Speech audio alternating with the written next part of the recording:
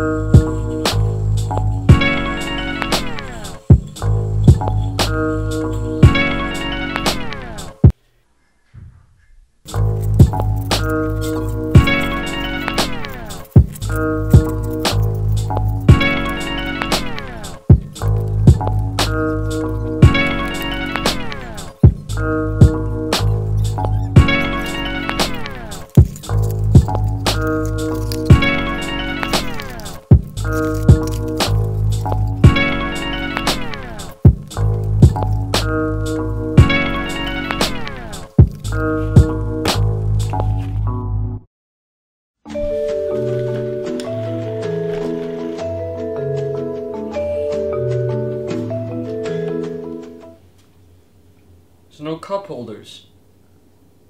So the spacers and bearing on the Yeti fit pretty tight, which is important to get it to spin nicely, but it makes it hard to get out. There's three situations you can find yourself in. Uh, two spacers and the bearing being stuck, just one spacer in the bearing, or just a spacer.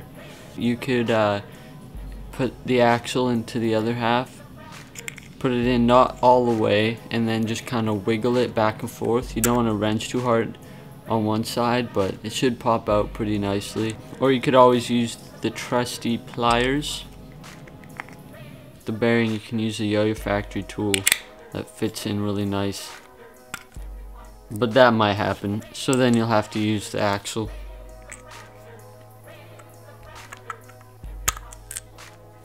Yetis do need to be tuned, so we actually recommend that you try not to take the halves apart as much as you can and use like a pick um, to take out knots and stuff. But if you did take it apart and put it back together and it's not quite what it used to be, um, this is how you kind of find that sweet spot again. Most of the time is tightness, so if you just wrench on it a little bit more it and then give another throw, it should be alright.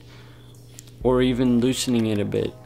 If not, you can try taking it apart and like putting the axle into one half completely or the other half.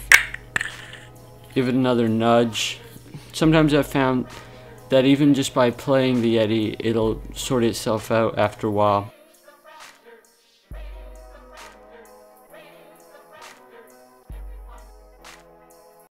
As far as string wear goes, you know, these are sanded uh, to prevent that, but if you are finding problems, what you can do is just go to your local hardware store, pick up a sheet of 600 grit sandpaper, or um, 1500 grit even work better if you can find it. Rip off a block. The important thing to note is you want to get into that response groove a bit and work on the edge. That's usually the spot that'll cause problems.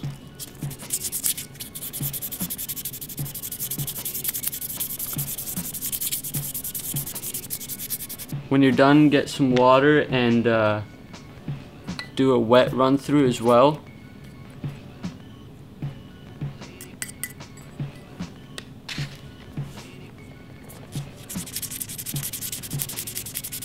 You know, it should be good to go, but if you're still having problems, just let us know. You can send it in and uh, we can do it for you as well.